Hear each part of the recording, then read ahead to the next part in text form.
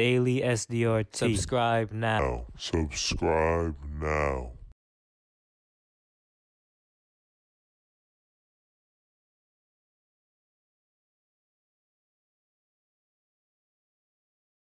Hey guys, welcome back to the channel.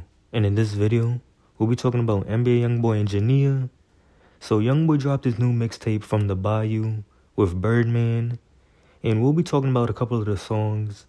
So some people pointed out a couple of a couple of lines somebody said Youngboy said in some of the songs, and they're trying to sit, say how Youngboy could have possibly been talking about Jania. So I'm gonna bring you guys these lines. So here's two right here from the same song.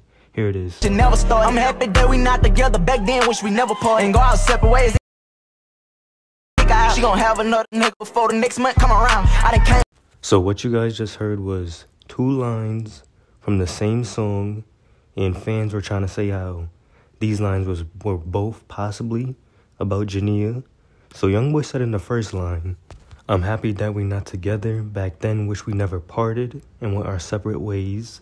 So some fans feel like that's a line about Jania, saying how he's happy they're not together anymore. Youngboy recently has been talking about how he's happy with his family, and his family is his girlfriend Jazz and their baby. So now we'll go into the second line, which is she gonna have another man by the next time the next month come around. So fans also felt like that possibly was a line at Jania. So comment down below your thoughts.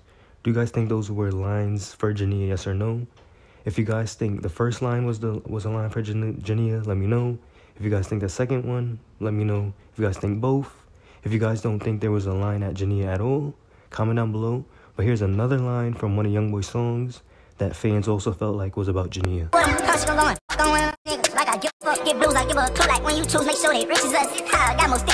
I had to speed it up for copyright reasons, but if you guys couldn't hear what he was saying, he said how heard she gon' go and smash one of these like I give a F.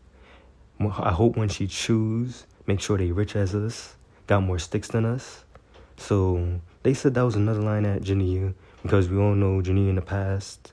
You know, she's kind of been with people from the other side. So Youngboy was basically trying to say, make sure they rich as us, make sure they got more sticks than us, got more sticks than us. And he was basically saying how he doesn't care. But he didn't say no names, but fans was trying to point out how that could be another line towards Jania. But comment down below your thoughts. If you guys think these were lines towards Jania, let me know. Line 1, line 2, line 3. Let me know if you guys think so. If you don't think there were lines at her at all, comment down below that too. But that's it for this video. Don't forget to like, comment, share, and subscribe. And turn on post notifications. Thanks for watching.